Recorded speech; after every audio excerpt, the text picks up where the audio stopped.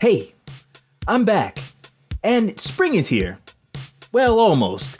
And there's been all sorts of new Sakura flavored items like candy, tea, etc. So I thought I'd show a few. In fact, today I actually was going to go to Starbucks and get the new strawberry Sakura Mochi latte. But when I got there, it was sold out. That's too bad, but instead I got a few other things. So I got this one, not today, but a few days ago. This is actually really good. It's Sakura Latte. You can just make it yourself.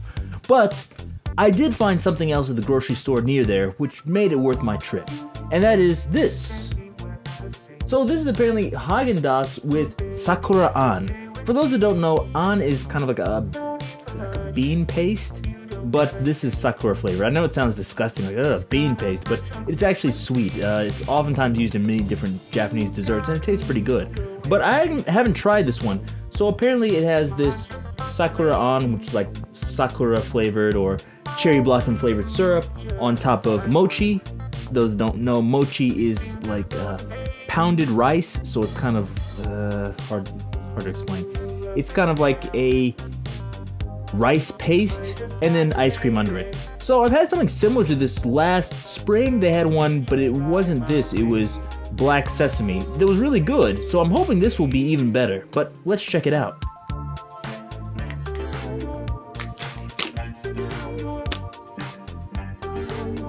So if you look here, you can see like that sakura syrup. Still kind of moving. It's really thick though actually smells good. It smells almost more like plum though than sakura, but mm, I don't know. Let's see. Ooh. See that gooiness? That's the mochi. Get a little bit more ice cream in here so I can have all of them mixed together.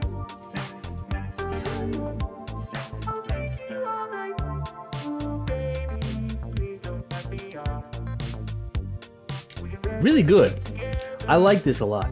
So like I said, it has that syrup on there, and the syrup actually goes really well with this. If you've never had sakura, it's harder to kind of explain it. It's like a cherry, but it's not quite as strong. Mm-hmm. It's not as fruity as normal cherry. And it's really good, and it goes really well with this. And I really like the mochi on top of this. Although I wish it was kind of more, and I wish it was mixed in instead of just on top. It's really good. It adds like a different texture to the ice cream. So I think they did a really good job with this. I really like these interesting flavors Haagen-Dazs has been coming up with. I think they've done a great job with this, so I hope they do more in the future.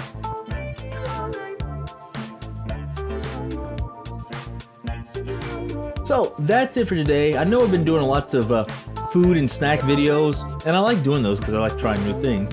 But it's been winter, so I haven't been able to go out and go different places for the you know 3D sound walks and I've been meaning to do an actual video about a topic, and I will do those in the future, but you know, just hang in there with me.